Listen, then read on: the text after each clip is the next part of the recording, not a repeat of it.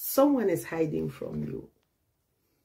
But their intention is not that you don't see them. They're just being romantic. Shalom, the Lord bless you. Welcome to Purpose and Marital Bliss with Pastor Honorine. I have a prophetic word for someone. And this word is coming to us from Proverbs chapter 8 and verse 17. The Bible says, the Amplified Bible version. God speaking, he says, I love those who love me. He says, but I go to meet those who seek me diligently and early. The Bible also tells us that God hides himself in light.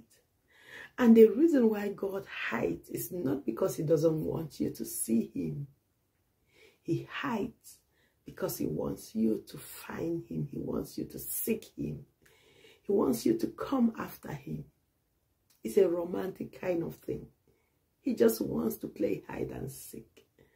So he says there, there is a category of people that love me and I just love them. But they are not making, they are not too romantic.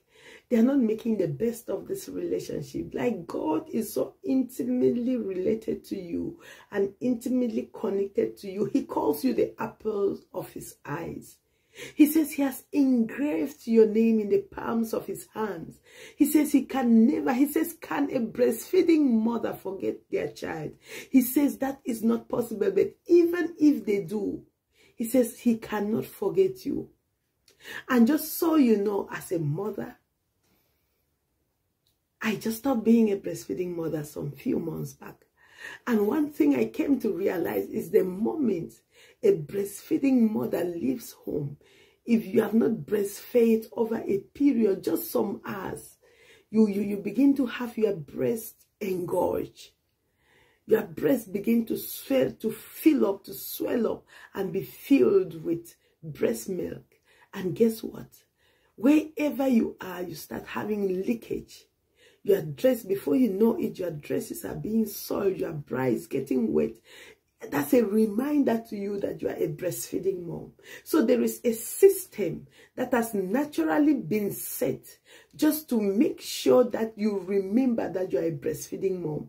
And guess what? That breast engorgement, it hurts your breast becomes so full that if you happen to hit it or to maybe just touch it, you, you feel pains.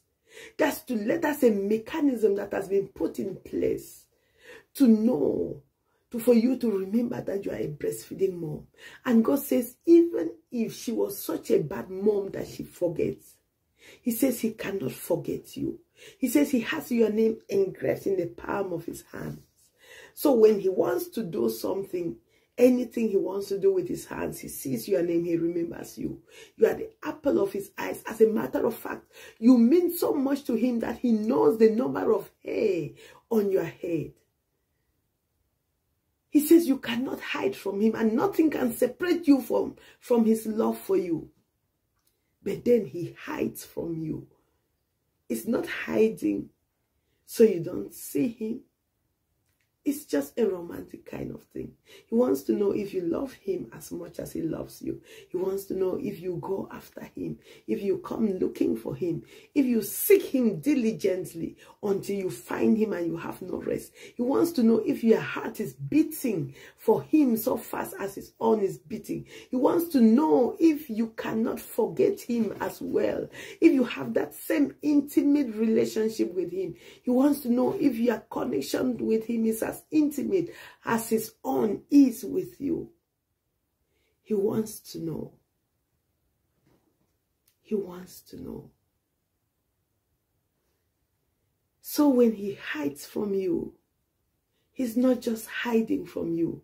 He's luring you. He's throwing corn to lure you into deeper realms of intimacy. He's throwing, he's throwing petals He's hiding from you, but he leaves a trail of petals. He's luring you into the bedroom. Oh, come on, Holy Spirit. He's luring you into the bedroom. He's luring you into the bedroom, into the place of intimacy. He's pulling you, he's beckoning on you and telling you, come. Come, come, come. There is more. There is more. There is more. I'm calling you into the place of intimacy. I'm calling you into the place where I can see you face to face. I'm calling you into a place where it's just going to be you and I. No interruption, no disruption, no social media. I'm calling you into a deeper realm and that's where God is calling someone today. Into the place of encounter. So he's hiding so you can seek him, so you can go after him, so you can have an intimate time with him. Please don't give him an attitude. Go after him and you'll be glad you did. God bless you. Shalom.